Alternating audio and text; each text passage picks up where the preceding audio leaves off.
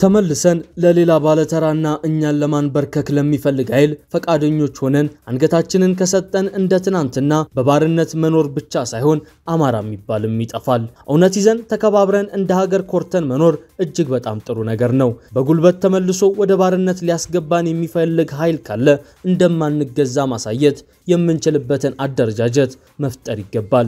እንዲሁ ዝም ብሎ ለሚዲያ ፍጆታ ዱሹ ዱሹ ማለት ማንንም ምንም አይጠቅምም። አማራ ፎካሪ አማራ ሸላይ ተብለናል። እንደሱ እንደሱ እንዳልሆንን ተደራጅተን ማሳየት አለብን። ይህ ንግግር የወልቃይቴው ሰው የበጌምድሩ ኮሎኔል ከጎንደር እስከ ዳርፉር ጀብዶችን የፈጸሙት ኮሎኔል ደመቀ ዘውዱ መጋቢት ወር ላይ ከጎንደር ከተማ ነዋሪዎች ጋር አደረጉት በተባለ ስብሰባ ላይ የተናገሩት ነው። ባለፈው መጋቢት ወር ኮሎኔል ደመቀ ዘውዱ በጎንደር ከተማ ከማህበረሰብ ክፍሎች ጋር ውይይት ሲያደርጉ የሚያሳይ ተንቀሳቃሽ ምስል ተለቆ ነበር። አስር ደቂቃ በላይ በፈጀው በዚህ ቪዲዮ ላይ ታዲያ የበጌ ምድሩ ኮሎኔል የወልቃይትን ጉዳይ በተመለከተ የፌዴራል መንግስት እያሳየ ያለው መለሳለስ ክፉኛ ተቹ። ከበጀት መቅደም ያለበት ነጻነት ነው አሉ። ብሔርን ለይቶ በማንነቱ የሚገድል ስርዓት ይኖራል ብሎ ማንም ያሰብ አልነበረም። አሁን እያየን ያለነው ነገር ግን ምንም ያላደረጉ እናቶች፣ ህፃናቶች የሚገደሉበትን ስርዓት ስለሆነ መታገል አለብን ሲሉ መረር ያለው መልእክታቸውን አስተላለፉ። ከዚህ በተጨማሪም የህወሓትን ትጥቅ መፍታት በተመለከተ ሲናገሩም መከላከያ ሰራዊቱ ህወሓትን ትጥቅ ማስፈታት አልቻለም አሉ። የፕሪቶሪያው ስምምነት እንዲህ አልነበረም። ህወሓት ትጥቅ እንዲፈታ ክልሉ በመከላከያ እጅ እንዲገባ ቲዲኤፍ የሚባለው ሰራዊትም ትጥቅ እንዲፈታ ነበር ስምምነቱ። የሆነው ግን በተቃራኒው ነው። መከላከያ ትጥቅ ሊያስፈታ አልቻለም። ይልቁንም ህወሓት ኃይሉን እያጠናከረና አዳዲስ ምልምል ወታደሮችን እያሰለጠነ ነው በማለት በስፍራው ያለውን ወቅታዊ ሁኔታ አብራሩ። አለ ነገር የኮሎኔሉን ንግግር ከማህደር መዘን አላመጣንም። በወልቃይት ሊፈነዳ ያኮበኮበ ትኩሳት ቀጠናው እንዳያተራምሰው ክፉኛ ተሰግቷል። በአማላዊዋ የቀጠናው ተፈላጊ ስፍራ የፖለቲካ ፍጥጫው ተካሯል።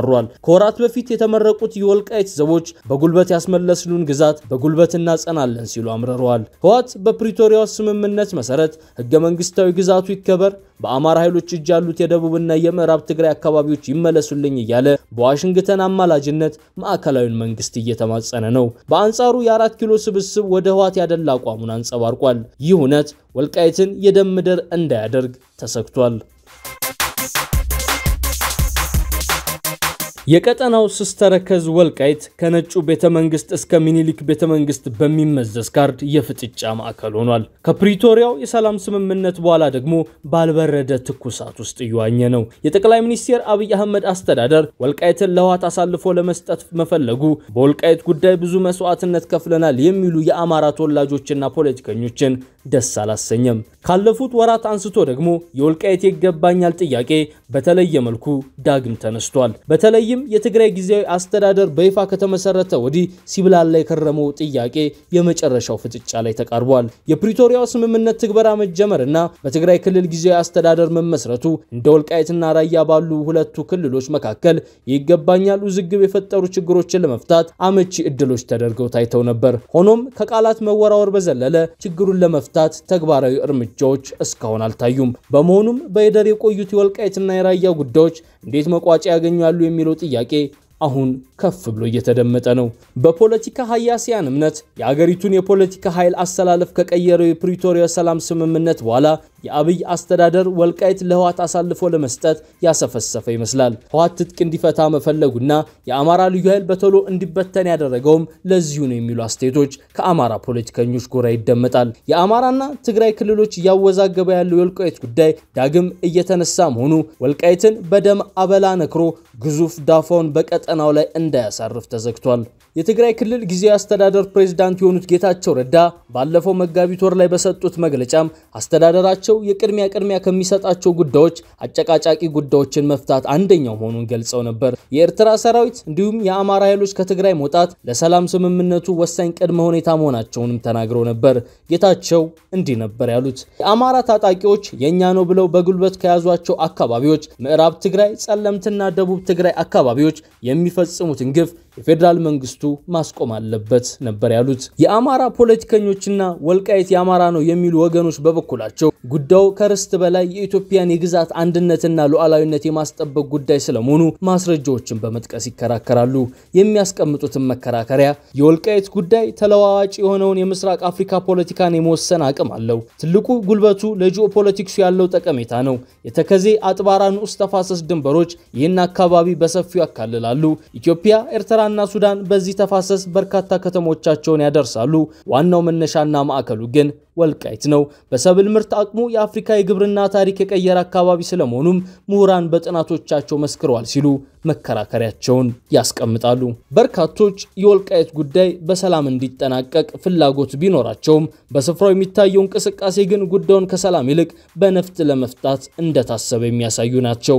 ለዚህም ይመስላል የወልቃይት ማንነት አስመላሽ ኮሚቴ ባለፈው ሳምንት ባወጣው መግለጫው ላይ የወልቃይት ጉዳይ በጥንቃቄ ካልተያዘ የቀጠናውን የ40ና የ50 ዓመታት ታሪክ ሊቀይር ይችላል ሲል የተደመጠው። ኮሚቴው በወቅቱ ባወጣው መግለጫ የሚነሱ ጥያቄዎችን መመለስ የተሳናቸው የፖለቲካ መሪዎችን እና የማፈን ተግባራቸውን በማንሳት የአማራ ክልል ወቅታዊ ሁኔታ የኢትዮጵያን ሕልውና የሚፈታተን መሆኑን የጠቆመው በየጊዜው እየተቀሰቀሰ አገርን ሕልውና የሚፈታተኑ ችግሮች መብዛት፣ የወልቃይት ጠገዴ፣ ጠለምት ራያና በርገሌ የማንነትና የወሰን ጥያቄዎች ታሪክን ፖለቲካንና ነባራዊ ሁኔታን ታሳቢ ባደረገ መልኩ በሕግ አግባብ ለባለቤቶቹ እንዲመለሱ አለመደረጉ በመንግስትና ሕዝብ መካከል ሊኖር የሚገባውን መተማመን ሸርሽሮ የአገረ መንግስት ጠላቶች በሚፈልጉት መንገድ ግጭት እንዲፈጠር አድርጓል ሲል የተናገረው አሁንም ቢሆን አለ መግለጫው ወንድም በወንድሙ ላይ ወገን በወገኑ ላይ በመተኮስ የሚወሳሰብ እንጂ የሚፈታ ጥያቄ የለም ሲል ተደመጠ።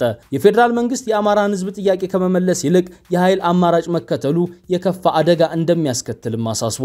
አማራ በጽናቱ መልሶ ያገኘውን የማንነቱን አሳልፎ አይሰጥም ያለው ኮሚቴው ለታሪካችን ለክብራችንና ከሁሉም በላይ ለህልውናችን ከመቼውም ጊዜ በላይ ዝግጁ መሆናችንን የሚተነኩሱን አካላት ይወቁልን ብሏል። ሁሉም የአማራ ህዝብ የታገለለትንና ዋጋ የከፈለለትን የወልቃይት ጠገዴ የማንነት የትግል አጀንዳ አጽንቶ እንዲያስጠብቅም ጥሪውን አቅርቧል። የፌዴራል መንግስቱ የወልቃይት ጠገዴ ዘመናት ጥያቄ ላይ የሚሰራው ስህተት ካለ ከኢትዮጵያ አልፎ የመጪውን 40ና 50 ዓመት የአፍሪካ ቀንድ ፖለቲካ ሊያወሳስብ የሚችል መሆኑን ከወዲሁ መገንዘብ አለበትም ሲል በመግለጫው ላይ ጠቅሷል።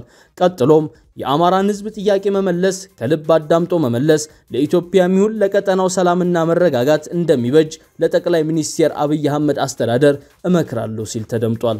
በርካቶች የወልቃይት ጉዳይ በሰላም እንዲጠናቀቅ ፍላጎት ቢኖራቸውም በስፍራው የሚታየው እንቅስቃሴ ግን ጉዳዩን ከሰላም ይልቅ በነፍጥ ለመፍታት እንደታሰበ የሚያመላክቱ ናቸው።